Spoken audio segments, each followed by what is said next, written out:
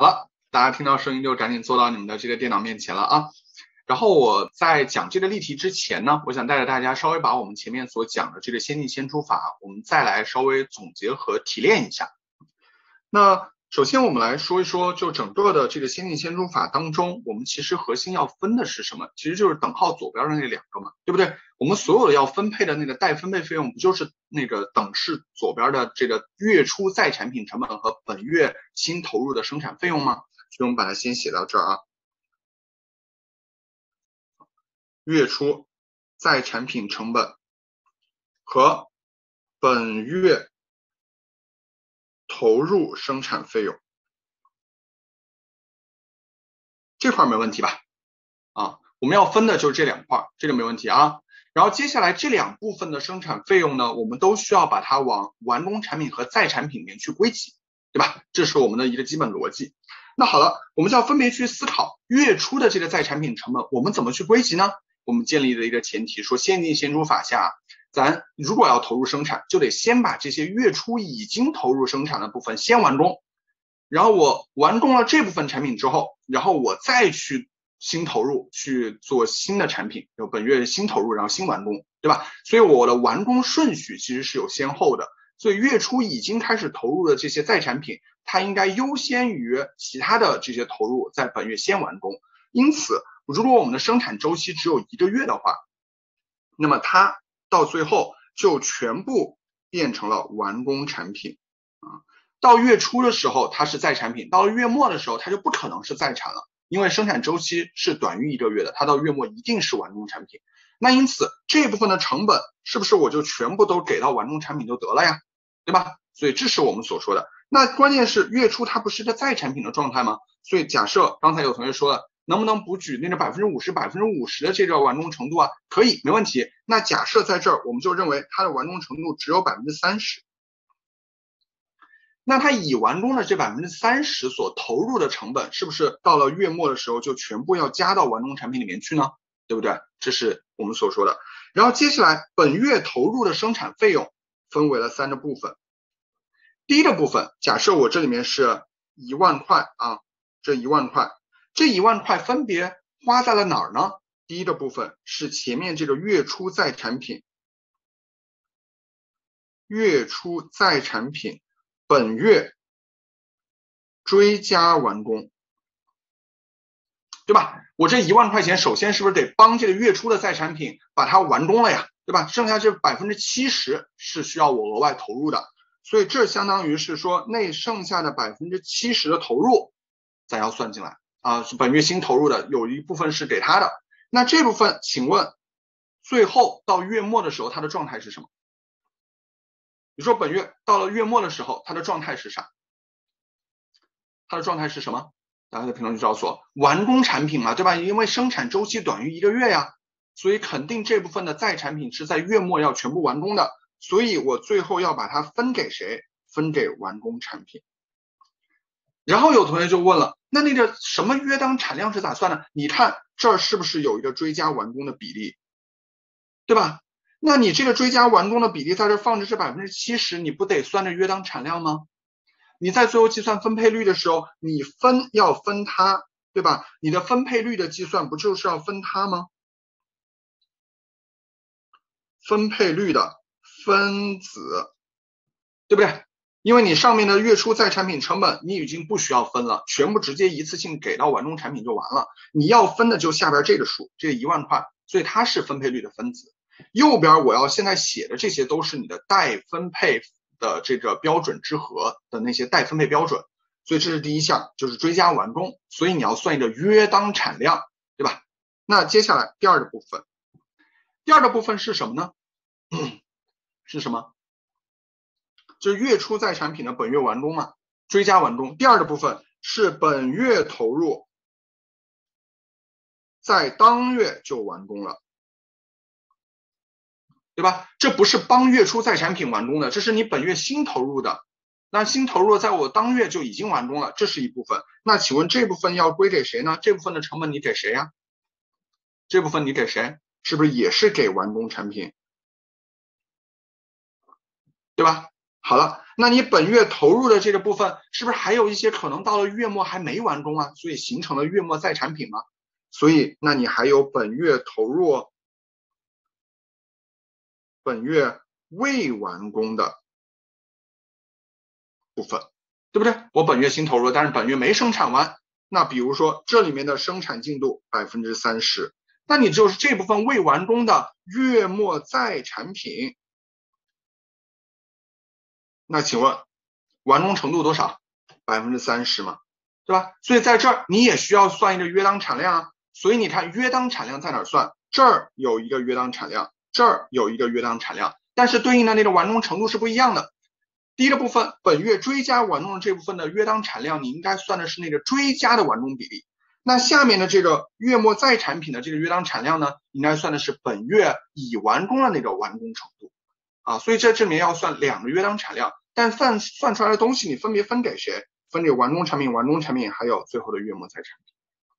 啊，所以这样梳理完了之后，大家能不能比较清楚了我们整个先进先出法它的一个分配逻辑？所以你看，这里是分配率的分子，对吧？右边的这一块呢，全部都是分配率的分母，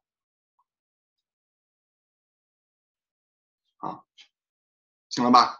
啊，O 不 OK 了？好，那在这个基础之上，我要额外提示大家的一个，就是我们在计算所有这些的时候呢，你要特别注意原材料的部分，就原料的投入，因为我们讲了。在这里面呢，所谓的这些百分之三十呀、百分之七十呀、百分之三十啊这些完工程度，咱们其实都是考虑你应该是陆续投入的，对不对啊？那假设我现在原料是期初在整个生产开始是一次性投入的，那么你要注意这里面的一些调整。假设我一次性投入了，那么月初的再产品成本当中，这个原料的部分啊，你在计算原料的时候，请问还是不是这个百分之三十呢？就不是了，因为你材料已经一次性全投完了，所以你的月初再产品成本当中，原材料的成本是完整的，原材料的成本是没有追加投入的，因为你后续不需要投入了，所以对于原材料的部分，你的完工程度就是百分之百。那因此在这儿去计算这个追加完工的时候，请问还有没有这个原材料的部分呢？大家回答我这个问题。假设我的原材料生产开始是一次性投入了，请问在后面计算这一部分追加完工的时候，还有没有原材料的部分呢？就没有了。所以这一块你就不需要再去考虑什么百分之七十了，因为它的完工程度是零，它没有需要追加完工的部分，期初已经全完工了，对吧？这就是我需要你去注意的第一个地方。这计算约当产量要调整。第二个地方是我们本月投入、本月未完工的这个部分。假设我的原材料是在生产开始是一次性投入的，那么我本月只要已经开始投入了，即使我到了期末，到了月末，它还没有完工，它到了期末仍然还是一个在产品的状态，但是原材料的部分咱投完了吗？原材料的部分咱是不是投完了呀？所以原材料的部分是完工程度百分之三十吗？不是，原材料的部分完工程度是百分之百。所以你在计算那个分配率的时候，你得把材料的分配率和其他的那些陆续投入的什么人工呀、什么制造费用啊，这个分配率给分开算，对吧？材料的分配率如果是期初一次性投入的，生产开始是一次性投入的，你一定得单算，因为后面的约当产量在这块是要独立考虑。这块大家听明白了没？如果不是一次性的投入怎么办？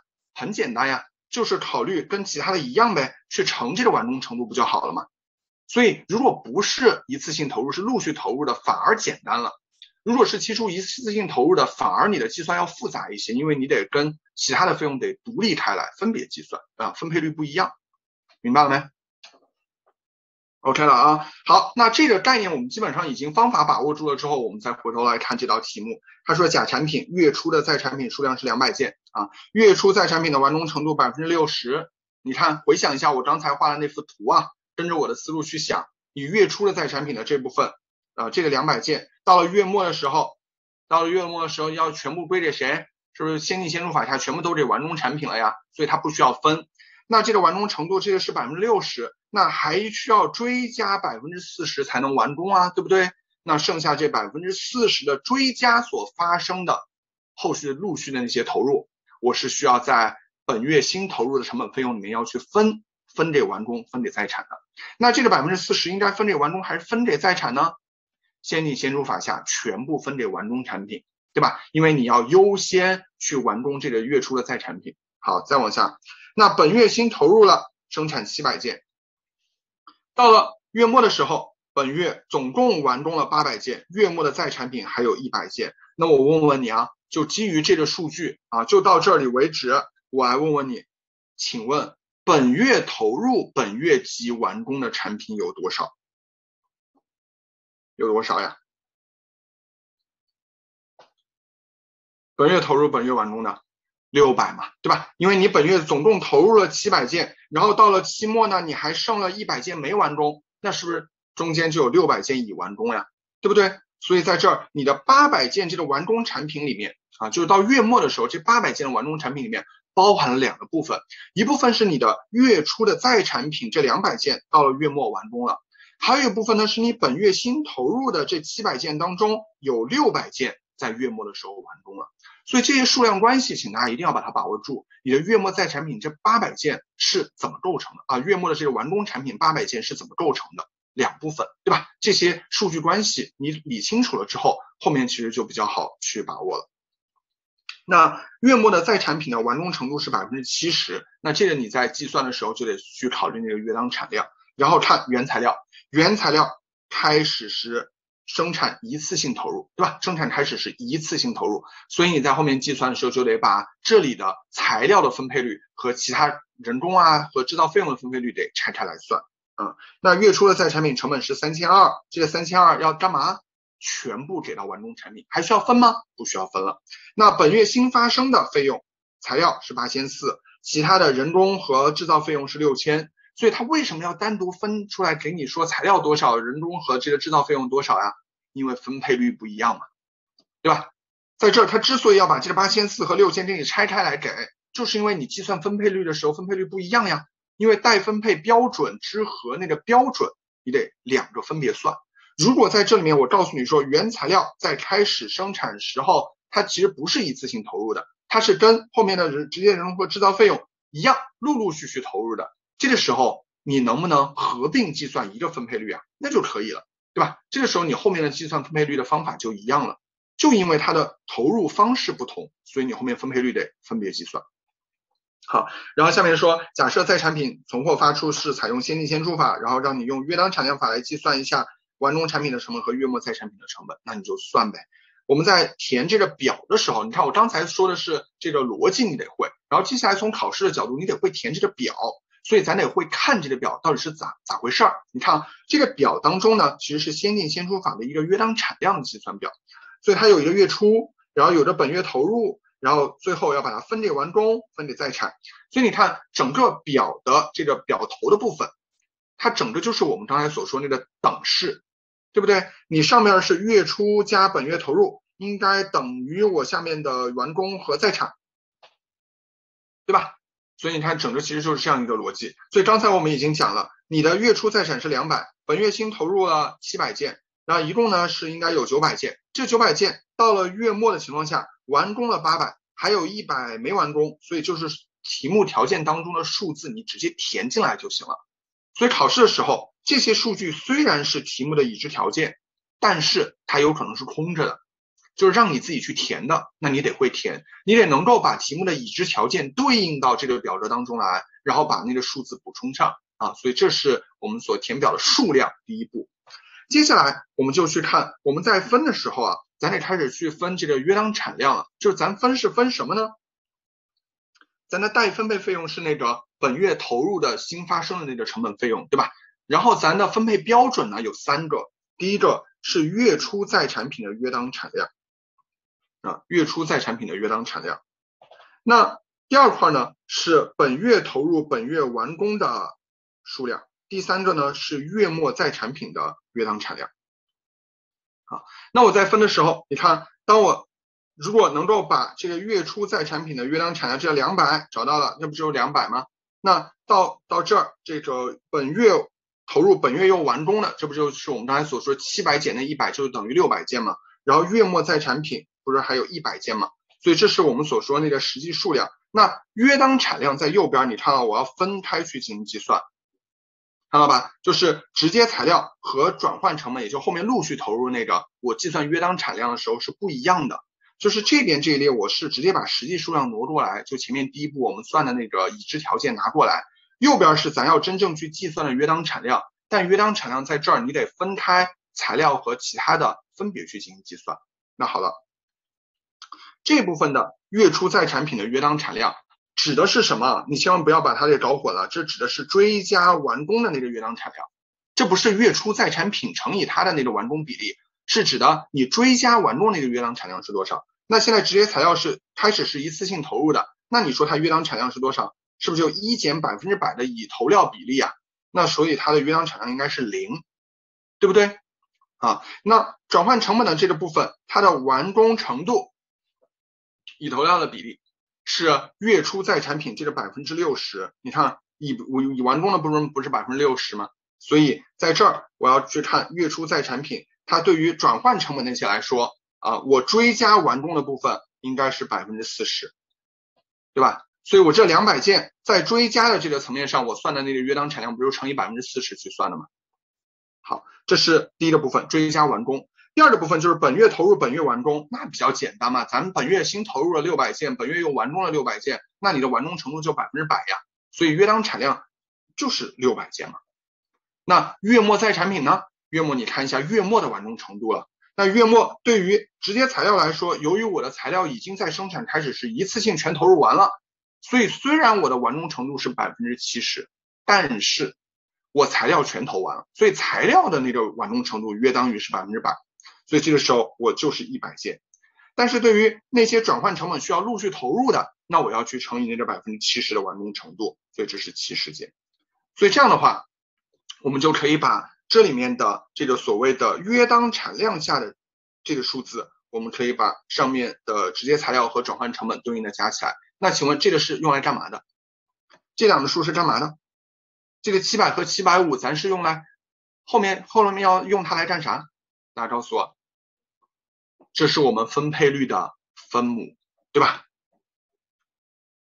这是我们在计算分配率的时候，我们要计算的那个分母。那分子是什么呢？分子就是我们刚才所讲的那个本期月新投入的那个生产费用嘛，所以那最后就是月初的在产品的成本这个三千二，请问这个要干嘛？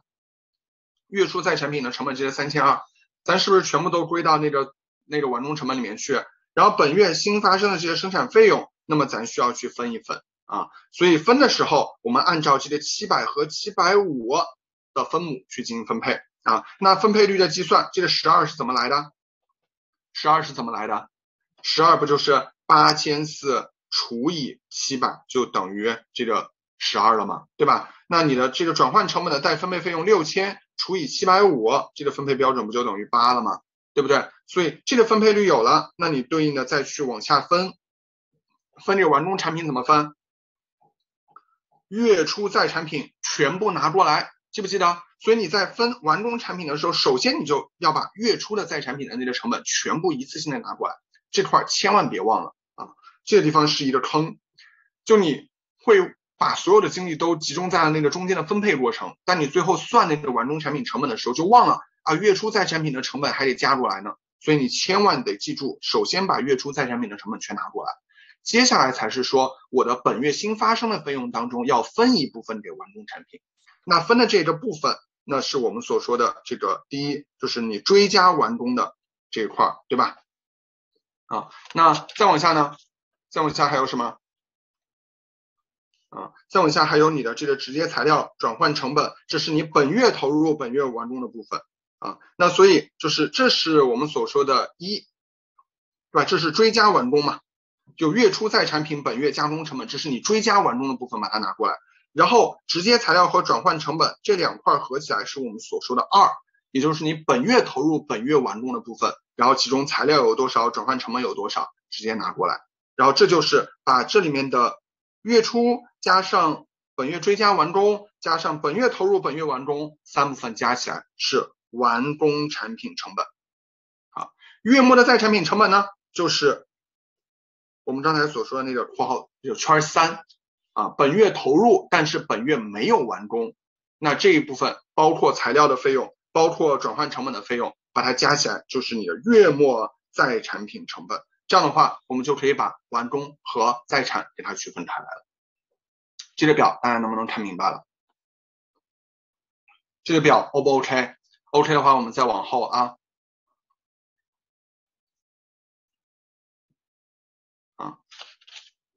好的，嗯，好，没问题的话，那我们就继续往后了。所以大家在这填表的过程当中啊，首先不要忘了我们前面整个梳理的那个过程啊。我们先把那个前面的那个方法，就是这个梳理的部分，月初在产怎么处理，对吧？本月新投入的生产费用我们怎么处理？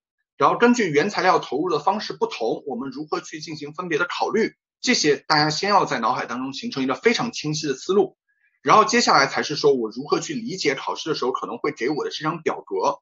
这张表格当中，往往其实这个项目的这个部分，就这一块的内容，它都是会直接给你的啊。它需要你做的是什么？就是把右边这些数填进去。所以你就要去理解这个表格的逻辑。你把这个表格的逻辑理解清楚了之后，那你就填这个数的时候，你自然而然就知道怎么填。而表格的逻辑是什么呢？就是我前面所讲的那个系统，你需要去记住的那个基本的分配方法。啊，那个分配方法其实就呈现在表格当中而已啊，就按照这个表格的逻辑顺序一步一步你去算就好了。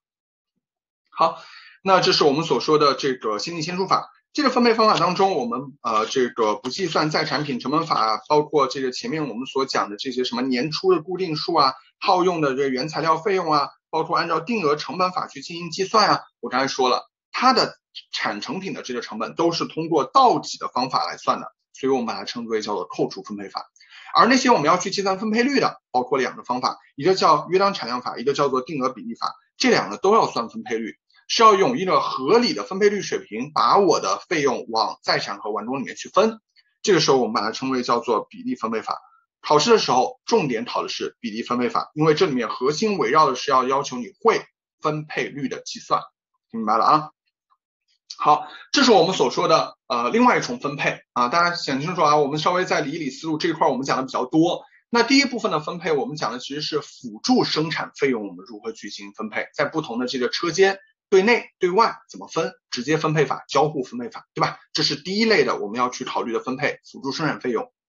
第二类我们要去考虑的分配，其实是我们所发生的生产费用如何在在产品和完工产品里面去进行分配。然后这里面我们涉及到了两大类的分配方式，一个是扣除分配法，一个是我们所说的比例分配法。然后重点掌握比例分配法啊，这里面是分配率的计算是核心，对吧？那第三块我们要去讲的这个分配呢，就是在企业的生产过程当中可能会产生连产品，可能会产生副产品，这两类产品我们在发生成本的时候，如何去把它进行这个合理的分配，这是我们要去考虑的。那什么叫做连产品？什么叫做副产品呢？我们来举个例子啊，比如说我们以这个最为典型的就是提炼原油这个生产过程来进行举例。我们一个石油公司，我们要去提炼原油的时候啊，我们往往会提炼出来什么？我的目标是把原油提炼出来，对不对？但我提炼的时候呢，我可能还会提炼出来，比如说这里面有汽油啊，比如说我还可能提炼出来了柴油。啊，这都是我在目标是提炼原油的时候，可能我还同时在提炼着，比如说这个汽油啊、柴油啊等等这一系列的油。那这些我们把它称之为叫做连产品。但是除了我在提炼出来这些可具体使用的这些油以外，可能中间还会有一些什么呢？比如说油渣啊，比如这个在整个提炼过程当中产生了一些油渣，那这个就叫做副产品啊。所以这个所谓的连产品和副产品，我们稍微来这个做一下对比。它的相同点是说，都是在提炼原油的这个过程当中，都是在使用相同的这个材料，也是在同一个生产过程当中同步生产出来的产品，对吧？不都是在提炼原油这个过程当中生产出来的产品吗？对吧？这是它们的相同点。那不同点呢？是连产品对于企业来说是它的主要产品。比如说我提炼原油，我目标是提炼原油，但是我提炼出来的汽油、柴油这些其实都是我的主要的商业化的那些产品，我是可以对外出售的，对吧？然后呢，副产品是生产时候附带生产出来的非主要产品，我本质上不是为了去生产油渣的，对吧？我提炼原油提炼半天，我不是为了去生产油渣的，所以这个时候只不过是附带产生的一个产品而已啊，所以这是一个主次之分啊。如果生产出来都是主产品，那么这叫做连产品，它的地位是相同的。就是这里面的连产品当中的什么原油呀、汽油呀、柴油呀，它都是并列的产品，对于企业来说都是主要的生产产品。而对于这个油渣来说，它跟我们所说的汽油、柴油，它不是并列的关系，它是一个附附带的关系啊。我的主要产品是汽油、柴油、原油，但是我附带的可能还有一些油渣啊，所以这是它的这个在整个产品当中的一个层级。然后最后还有一个呢，就是我们在进行成品成本核算的时候，对于连产品来说。我们是按照成本分配的原则核算各连产品的产品成本，而对于副产品来说，我们是先确定副产品的成本，然后再倒计确定主要产品的加工成本。那么我来问问大家，这两种不同的成本方法能不能套用我们前面的那个成本分类？你给它命一个名呀？其实啊，连产品的整个的产品成本的计算，它就是一个比例分配法。对吧？因为你在这里面需要确定一个合理的分配标准、分配原则嘛，那你要确定一个分配率，然后去把我整个的成本分给不同的产品，分给原油、分给汽油、分给柴油。但右边的这个副产品呢？你看我整个的主要产品的这个成本分配是怎么算的？是倒挤出来的，所以它相当于是我们所说的扣除分配法，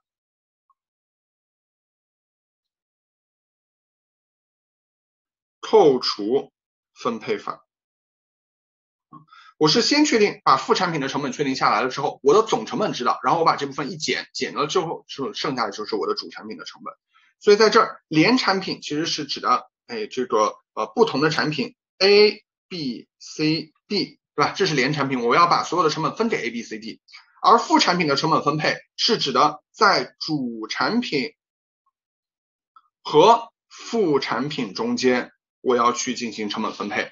我不再考虑说主产品里面还有什么 A、B、C、D，不是的，你看到了吧？在副产品的成本分配当中，我关注的是主产品和副产品这两类产品我怎么去做成本分配，而不关心主产品里边的什么 A、B、C、D 这些连产品我怎么分，而只关心副产品和主产品这两大类产品的成本我如何划分的问题啊。所以这是我们所说的整个成本分配在连产品和副产品当中的一个基本应用。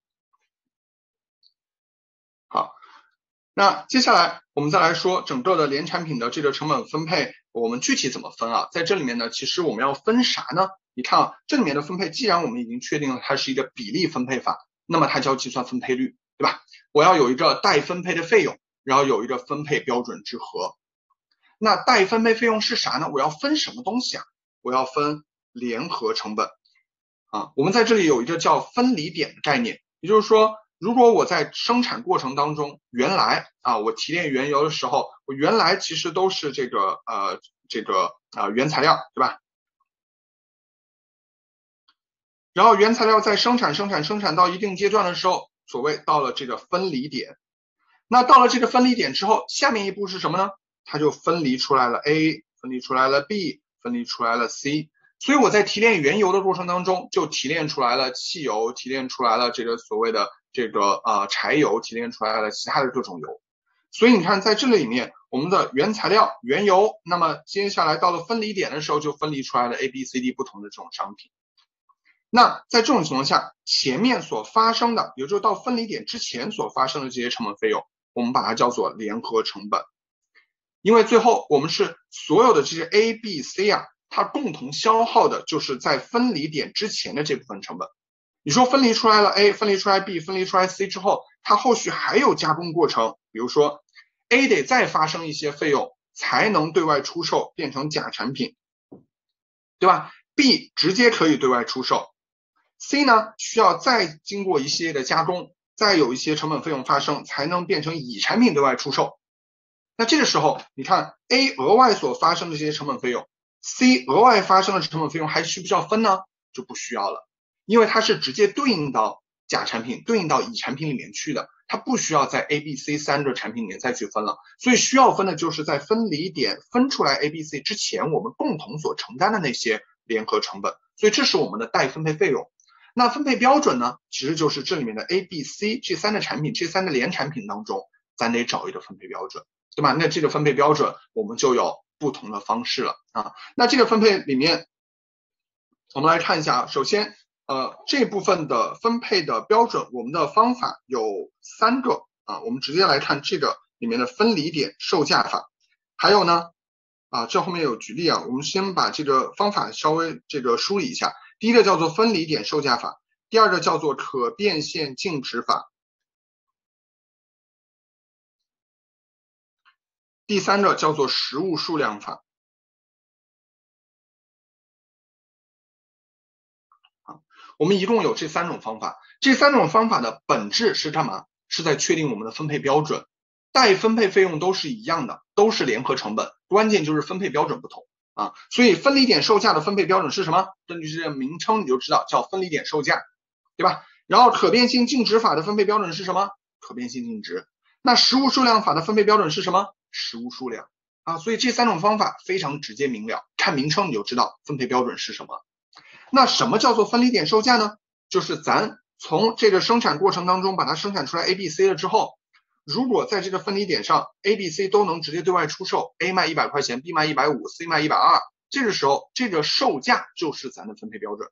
所以你看，这个分配率就是联合成本，下边呢就是 A 产品在分离点的售价。B 产品在分离点的售价作为我的分配标准，然后对应的取分乘以 A 的售价就分给了 A，乘以 B 的售价就分给了 B，啊，这也比较好理解吧？我们带一个例子来看一下啊，说甲公司它生产联产品 A 和 B，那么联合成本呢是五百万，这不就是咱的待分配费用吗？接下来 A 和 B 在分离点的售价合计是三千万，这不就是分配标准吗？其中 A 的售价是一千八，B 的售价呢是一千二。那这个时候，咱分配标准也有了，各自的那个分配的金额也有了，那我们怎么分啊？是不是待分配费用五百万除以下边这个三千，然后乘啊，不是这个五百万，然后乘以三除以三千，然后乘以一千八。所以你看这个公式啊，如果你看不明白，我给你稍微改一改，这个公式你可以把它改成代分配费用五百，对吧？然后呢，除以我的分配标准三千。但这个三千是怎么来的？是一千八加一千二嘛，对吧？一千八加一千二，对吧？然后呢，我乘以一千八就是分给 A 产品的，乘以一千二就是分给 B 产品的。所以你这么去写公式，我觉得可以跟前面的那个逻辑保持一致，对吧？啊，所以这是我们所说的就是这个分离点售价，那是比较简单的。那可变性净值呢？咱其实整个的待分配费用没有变，你看分配率的层面上其实就是分母变了。分母刚刚才咱们是可变现的，呃，这个呃分离点售价，咱现在就改成可变现净值。可变现净值什么意思？什么意思？就是我刚才所说的那种情况，我原来是一大坨的联合成本，现在呢，我分出来了 A 和 B 两个产品，但是这个时候 A 和 B，比如说其中的 A 还不能够直接对外出售，它还需要进一步加工，我加工成甲产品；B 也不能直接对外出售，我还需要进一步加工。加工出来乙产品，所以这会有一个进一步加工的成本，对吧？那我在分的时候，这个可变现净值是什么意思啊？就是甲和乙，咱是不是有一个对外售价呀？所以它是指的最终产品的售价，最终售价减掉进一步加工成本，那这不就是我在。可变现的这个状，就是在我分离点的这个状态下，就刚刚分离出来 A 和 B，它对应的价值是多少嘛？对吧？假设甲产品咱卖一百块钱，从 A 到甲产品中间我需要额外增加的这个加工成本是二十块钱，那我问你 A 产品的可变现净值是多少啊？假设咱 A 产品真的能对外出售，那请问甲 A 产品的这个价值是多少呢？是不是就我最终的售价？减掉我额外需要增加投入这个二十块钱的加工成本，那它的可变性净值不就八十吗？对吧？就这么一个简单的逻辑啊。那我在计算的时候，你看说乙公司它的联产品是 C 和 D，分离点之前所发生联合成本四百万，这就是我的待分配费用。然后往下分的时候呢，我要分的是可变性净值。那他说 C 和 D 在分离之后继续发生的单独加工成本是三百和二百。然后 C 的售价是一千八，D 的售价是一千二。那请问用可变性值来分怎么分呀？怎么分呀？分别计算可变现净值呗。C 的可变现净值不就是最终售价减它的进一步加工成本 D 就是它的这个最终售价减进一步的加工成本，所以可变性净值是一千五和一千，这就是你的分配标准，把它作为我们分配率当中的分母来进行计算，对吧？所以相当于我们把这个公式稍微改一改，你的代分配费用是四百，对吧？四百的待分配费用除以分配标准一千五加一千，然后对应的乘以一千五分给 C，那乘以一千是不是分给 D 呀？对吧？这样公式跟前面写的是一模一样的嘛，所以你怎么写都是都 OK 的啊。实物数量法就更简单了。实物数量法就看你最后生产出来了多少啊，那你的分配标准就是总数量，或者说你生产出来这些产品的总重量，对吧？所以这个其实是最简单直接的，那就相当于说你生产出来的 A 和 B，然后总共呢发生的联合成本呢是五百万，然后现在呢 A 产品有五百六十件，B 产品有四百四十件，那这就是你的分配标准呗，你就按这个数量分呗，所以你就直接用五百六除以，呃，你的呃加工成本就是五百万。待分配费用五百，然后除以你的五百六加四百四，然后乘五百六分给 A 乘四百四分给 B 啊，这是相对比较简单的一种分配方式，对吧？好了，然后呢，副产品的这个成本分配呢，我刚才已经说了，其实本质上就是一个倒挤的方法啊，叫做扣除分配法。所以你把副产品的这个成本啊能够算得出来，然后总成本你知道，然后把这个副产品的一减，剩下就是主产品的了啊，所以它的计算相对会比较简单，所以。这里面因为什么会可以采用这个扣除分配法啊？就是因为副产品的价值相对来说比较低，在全部产品的生产当中所占的比重比较小，所以我们用扣除分配法是一个相对比较偷懒的方法，是一个比较简化的方法。它不够精确，但是由于它的成本占比比较小，所以呢也不影响我们大的这个判断，所以主产品的这种计算呢也不会妨碍什么啊，所以我们就用了一个相对比较简化的偷懒的方法。用扣除分配法来计算了我们的主产品成本。嗯，好了，这是我们所说的第二节啊。那到这里面呢，我们整个的这个呃第二节有关于产品成本的这个归集和分配，我们就给大家讲完了啊。